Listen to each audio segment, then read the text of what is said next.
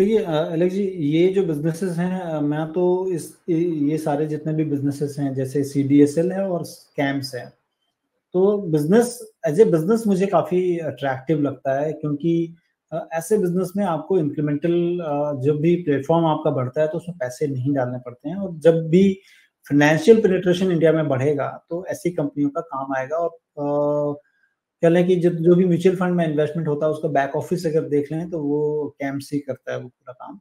और सारी चीज़ें प्लेटफॉर्म बेस सॉफ्टवेयर बेस है कंपनी कैश काउ जनरेट करती है। Valuation in a short term एक मैटर ज़रूर हो सकता है बट जैसे रैशनल जो कहें अगर बिज़नेस का तो वो बहुत अच्छे हैं अंडरलाइन बिजनेसेस हेल्दी हैं। और आने वाले दिनों पे ग्रोथ भी इसमें दिखती है। तो आपको थोड़ा थोड़ा करके लेना चाहिए। मुझे लगता है कि जितना भी घटे आपको धीरे धीरे ऐड करना चाहिए आपको पोर्टफोलियो में।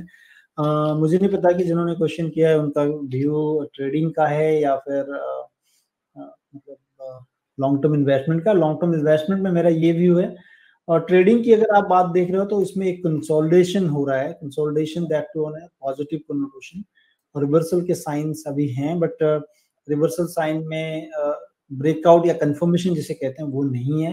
वो कब होगा? जब मुझे लगता है कि 2650 के ऊपर जाके क्लोजिंग हो जाए that too by closing base weekly basis close अगर करता है तो आपको इसमें तकरीबन जो है कह लें कि 20 to 30 percent rise from there on भी आपको मिल सकता है। तो ट्रेडिंग का बेट अगर वो है और नीचे अगर बाईस सौ रुपए के, के नीचे का स्टॉप लॉस लगा लें और मुझे लगता है कि ये बिज़नेस बिज़नेस और स्टॉक काफ़ी अच्छा है।